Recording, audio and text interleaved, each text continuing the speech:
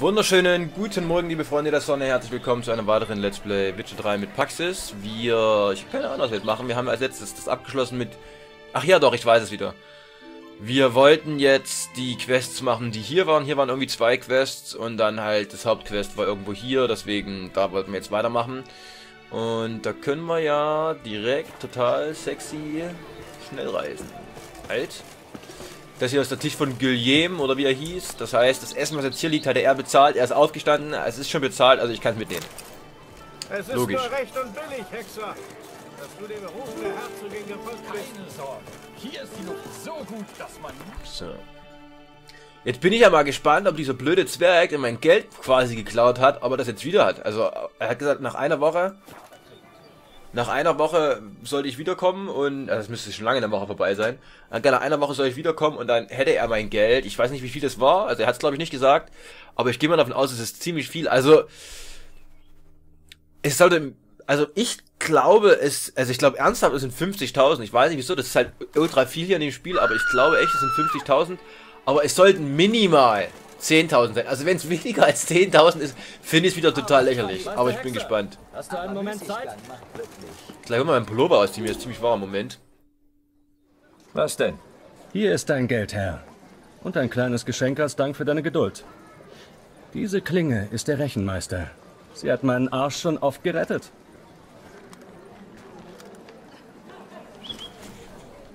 Danke, Chianfanelli. Wir sind quitt. Eins noch. Ich bitte um Entschuldigung für die Unannehmlichkeiten. Lang lebe die Das ist nicht der Ernst, oder? Herrin. Ein dreifaches Hat er mir gerade ernsthaft 500 Kronen gegeben?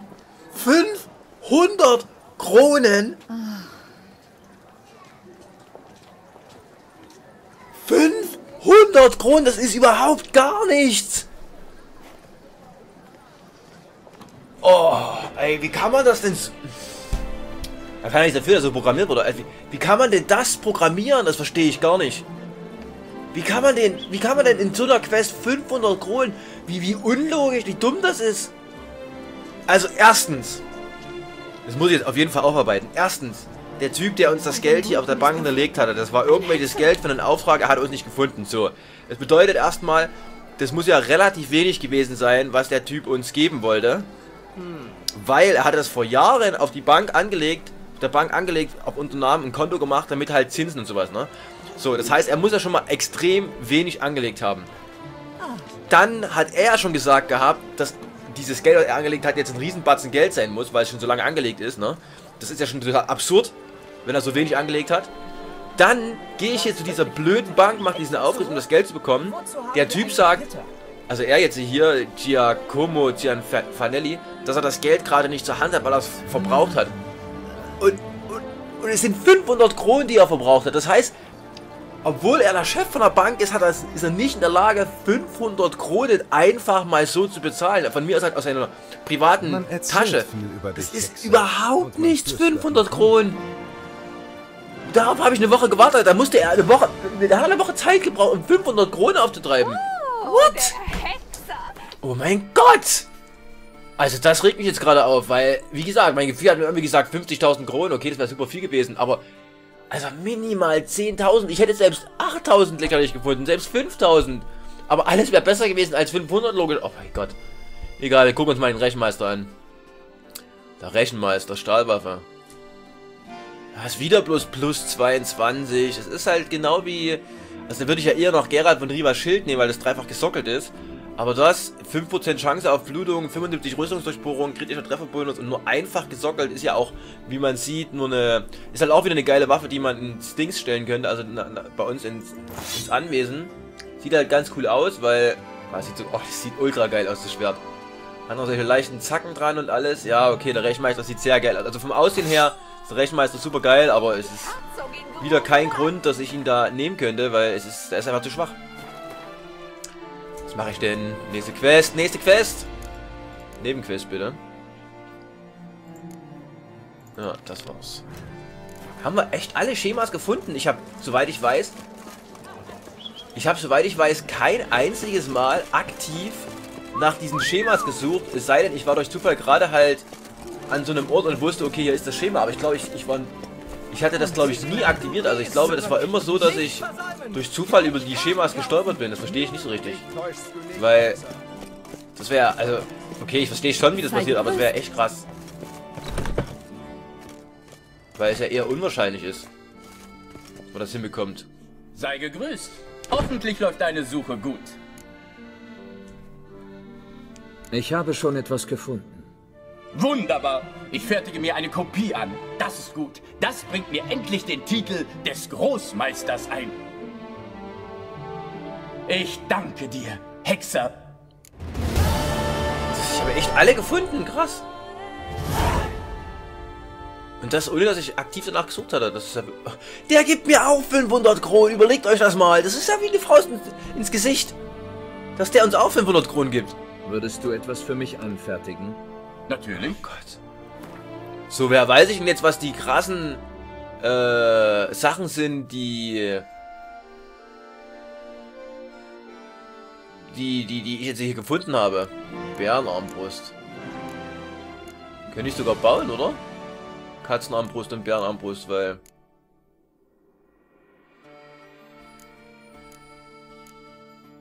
Es geht. Also, ja. Frage ist nur... Minus 90%. Minus 75%. Die sind halt schwächer, wie es aussieht. Die haben halt noch ein paar Bunny. Aber insgesamt sind sie halt schwächer. Ich meine, es ist auch Level 29. Bonus für drei Teile. Ich hab, da müsste ich halt jetzt äh, drei Bären-Sachen oder drei Katzensachen haben. Habe ich ja nicht. Ach, Bolzen kann man auch anfertigen. Vielleicht mache ich das mal. Da habe ich wenigstens ein paar coole Bolzen. Breitkopf. Der bei einem Treffen einen Bluteneffekt bewirkt. Explosivbolzen, der beim Aufschlag explodiert. Präzision. Aber ich habe halt noch Bolzen. Ich benutze eh nie Bolzen. Scheiß drauf. Was, was mache ich hier schon wieder? Sinnlos. So, wie sieht's hier aus? Irgendwas. Ich meine, wenn ich jetzt mir schon die Sachen gegeben habe, dann will ich ja wenigstens mal gucken, ob hier irgendwelche krassen Sachen zum Bauen sind. Oh, das ist Plus. Ist aber auch wieder ein Level zu hoch. Plus 6. Rüstung. Plus 400 Vitalität. Was ist denn das? Toussaint Herzogswächter Hauptmannshandschuhe. 5% Durchbohrungsschaden. Was- Na toll, ja, man kann hier nicht nachgucken, was man selber von der Handschuhe anhat. Geil. Giftresistenz, Aufschlitzenresistenz, Relikt. Zweifach gesockelt, aber wird wahrscheinlich schon besser sein. Okay, ich könnte es ebenfalls herstellen, krass. Leder. Ach so, und kaufen kann man es auch noch. Aber brauche ich ja nicht, ich habe das ja 100.000 Mal. Moment jetzt, brauche ich jetzt... Äh, hä, hab, ich habe es 48 Mal und brauch's zweimal? Oder habe ich es zweimal und brauch's 48 Mal? Wahrscheinlich nicht, weil alles, überall steht zwei, also brauche ich es zweimal und hab's halt entsprechend oft. Das sind ja gar keine wichtigen Sachen, die man da braucht. Total einfach. Okay, aber erstmal gucken, ob was Besseres gibt. Hier haben wir noch bessere Handschuhe. Brauchen wir aber zwei weitere Level. Das ist ja auch scheiße. Weil das dauert ewig, bis wir... Also brauchen wir drei Levels. dauert ewig. Guck mal, wir sind jetzt 45. Das heißt, es dauert noch ewig bis auf Level 46. Es dauert noch ewig bis auf Level 48. Brauche ich eigentlich auch schon wieder nicht anfertigen. Weil es kann sein, ich fertige mir jetzt die 46er an. Und bis ich auf Level 46 gestiegen bin, finde ich bessere Handschuhe. Also das ist sinnlos. Die sind noch besser. Brauchen wir aber Level 49.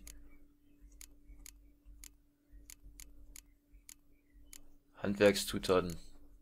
Angereicherte Dimiterium-Barn kann man auch machen. Dafür braucht man angereichertes Dimiterium-Erz. Okay. Ach nee, Dimiterium-Barn hatte ich ja noch. Also angereicherten Dimiterium-Barn hatte ich ja noch nie.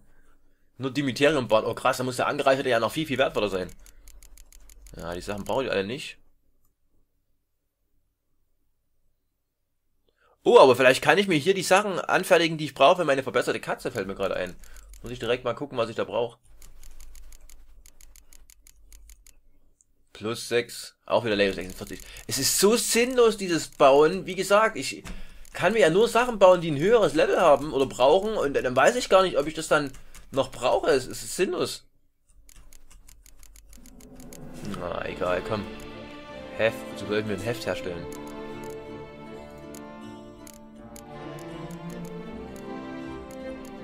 Genau wie das so. Großmeister Katzensilberschwert ist besser, aber... Ach nee, Quatsch, Level 41 ist Idiot. Sehe ich gerade. Großmeister Wolf Silberschwert. Das wäre natürlich geiler, weil Wolf bin ich ja. Aber ich glaube, diese Hexe-Sachen, die lohnen sich halt echt erst, wenn man wirklich auf diese Hexe-Ausrüstung geht und dann halt wenigstens drei Teile hat oder so. Sonst, aber der ist halt schon stärker, ne? Dreifach gesockelt. Aber ich würde gerne das genau vergleichen mit, der, mit dem Silberschwert, was ich gerade angelegt habe. Aber die Verbesserungen, die sind ja auch schon wieder... Beim, beim Wolf Silberschwert ist geil. Also Zeitintensität ist Rotz, Adrenalingewinn ist okay, kritische Trefferchance ist gut, Chance auf Bluten ist gut, Bonuserfahrung bei Monstern ist gut, aber insgesamt... Ach, ich weiß auch nicht so richtig. Ach, ich habe jetzt schon wieder keinen Bock mehr durchzugucken. Es ist schon wieder vorbei. Das war's schon wieder mit meiner Lust auf. Komm, wir bauen jetzt mal was. Viel Glück Aber ich gucke jetzt noch nach, was wir für äh, na was wir brauchen für die Katze.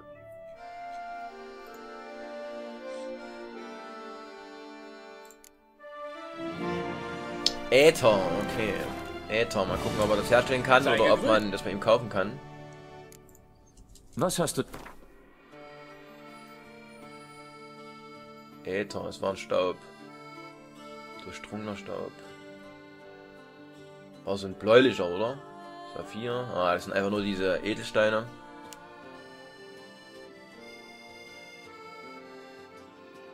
Ja. Na gut, dann schauen wir mal, ob wir das bei ihm durch Zufall herstellen kann. Handwerkszutaten. Es war irgendein Staub auf jeden Fall. Durchdrungener Staub brauchen wir nicht. Äther war's. Äther klingt halt so nach äh, nach Geist, habe ich ja schon mal gesagt. Okay, kann man nicht herstellen. Vielleicht ist es eher eine Zutat, die man bei Kräuterkundlern Weg. bekommt. Okay, das haben wir jetzt auch abgeschlossen und jetzt wollte ich ja zum Hauptfest gehen. Das ist also jetzt schon korrekt ausgewählt. Regis. Mal gucken, ob wir das einfach hinreiten oder ob wir da schnell reisen. Ja, können wir schnell reisen. Ab 10 Stück. Ich meine, wir können ja jetzt spaßeshalber hier nochmal nachgucken, ob der Äther hat, aber Äther klingt irgendwie nicht richtig nach Kräuterkundler, wenn ich ehrlich bin. Der Zweizahn ist heuer wirklich gar nichts geworden. Ein Stammkund. Lass mal sehen. Geil, ich bekomme einen Schluck auf. Ja, ich sag doch, vielleicht kriegt man Äther auch bei solchen dann. Händlern, die so, so, so, so, so, so, nicht die normalen Plunderhändler, Händler, sondern die, die halt so von allem quasi alles haben, so gefühlt. Ich weiß nicht, wie die heißen, also ob die überhaupt einen speziellen Namen haben. Die Wache lässt uns friedlich schlafen. Aber, ja. Ich habe aber mittlerweile auch schon viele Geistwesen besiegt und habe keinen Äther bekommen. Also, ich würde es wie gesagt mit Geistern interpret also in Verbindung bringen, aber kann natürlich auch sein, dass ich mich irre und es ist was ganz anderes. Oder es gibt's wo ganz anders. Ist auch jetzt nicht ultra wichtig, aber das ein oder andere Mal wäre es schon cool gewesen, die maximale Katze gehabt zu haben. Bin ja mal gespannt, wie das Hauptquest weitergeht.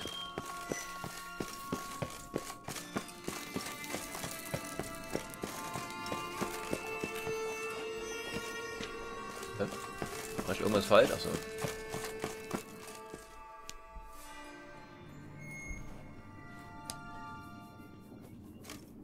Ob man aus der Hand ein feines Süppchen kochen kann?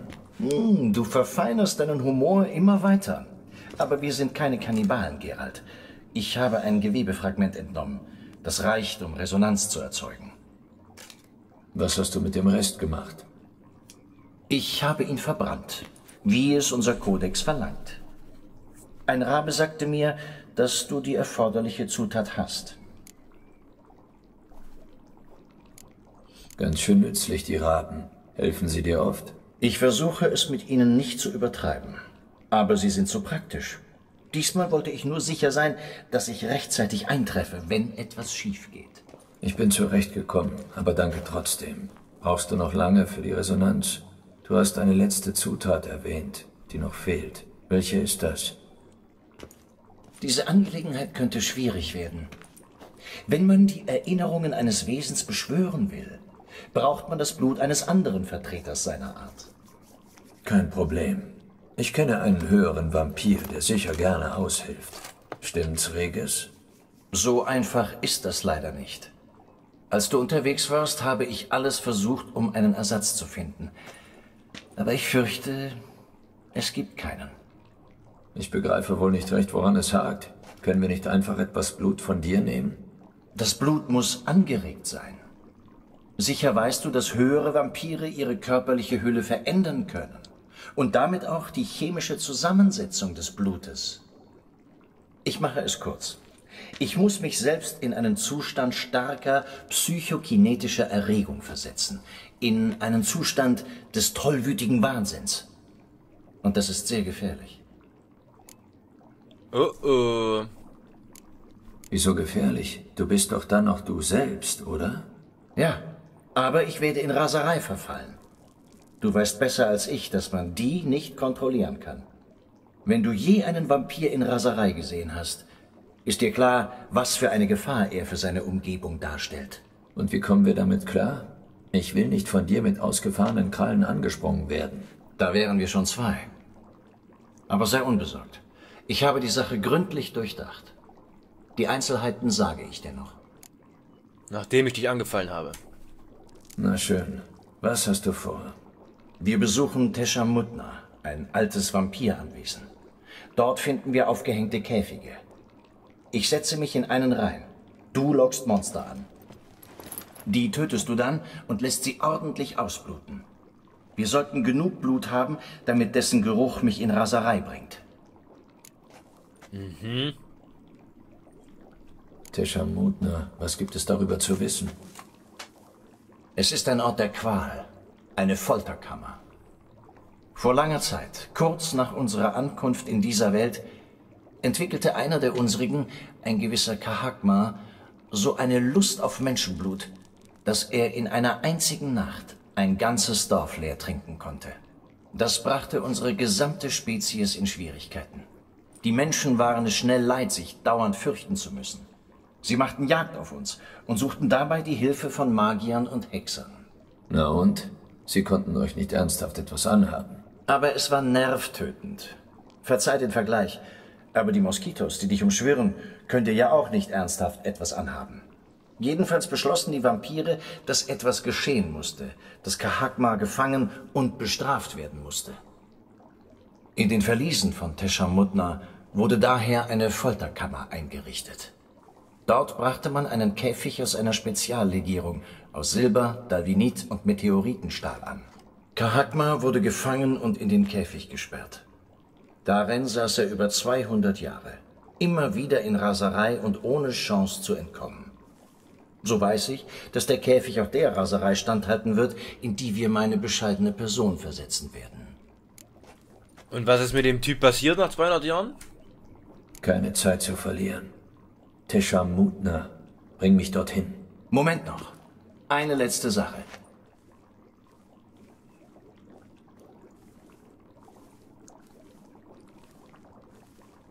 Schluckeig. Was war das? Blut. Der letzte Gefallen, den der Rabe mir getan hat. Außerdem habe ich Sangurium eingenommen, das meinen Geruchssinn schärft. Jetzt rieche ich einen Blutstropfen, als wäre es eine Galone. Bist du von Sinnen? Du bist ein trockener Süchtiger. Deine Anteilnahme rührt mich, Gerald. Aber bitte mäßige dich. Ich hatte keine Wahl.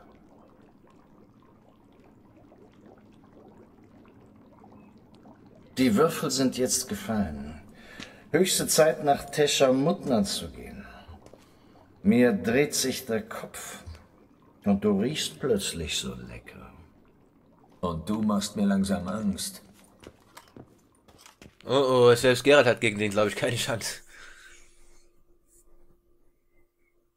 Ich will auch so ein Vampir sein, habe ich schon mal gesagt. Bin mal gespannt, wo dieses Tesha Mutna ist. Oder ist das etwa die Ruine, in der wir schon mal waren und nichts gefunden haben? Das könnte auch sein. Kommt mir zumindest gerade ein bisschen bekannt vor. Ja, ich würde sagen, ist das, oder? War das nicht das, wo auch Wir diese... sind da. Die Opferkammer der Folter und Pein ist unterirdisch. Das war doch das, wo ähm, die Anzeige für den Höhleneingang war und ich die nicht gefunden habe. Ja, das ist das. Krass. Und du weißt, was du tust? Ich hoffe es nur. Gehen wir bitte. Je länger wir säumen, desto weniger habe ich meine Fakultäten im Griff. Ich will dich wirklich nicht verletzen. Geh voran.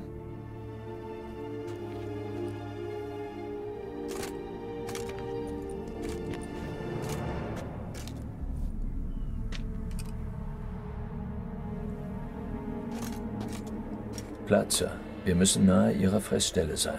Stimmt. Ich sagte ja, es wird gefährlich.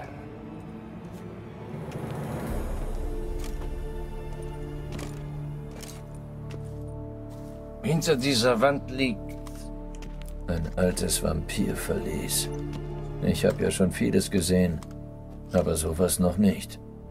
Wie ehrenvoll. So ein erfahrener Mann und doch kann ich ihm noch etwas Neues zeigen. Jetzt auf damit.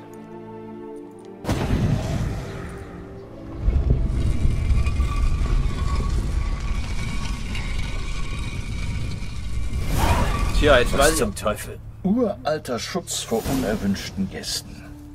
Der Entriegelungsmechanismus reagiert nur auf das Blut höherer Vampire. Jetzt weiß ich halt auch, warum ich damals das Eine gesicherte. Vampirfestung voller trickreicher Fallen. Toussaint war euch anscheinend mal wichtig. Das wird es auch immer bleiben. Bei der Konjunktion hat sich das Tor aus unserer Welt in diesem Land geöffnet. Dies war der erste Ort. Champion von Teshamutna. Ich bin der Diener des Stammes, erhaben über die Menschen, künde ich von ihrer Schwäche. Erhoben über sie bin ich der Hüter der Er- Herde. Voll der Stärke richte ich das Schwert gegen die Feinde des Stammes. Ich bin Herr und Knecht zugleich. Ich bin der ausgeübte Willen des Stammes. Ich akzeptiere dieses Schwert und diese Rüstung, auf das ich den Stamm dienen kann. Teshamutna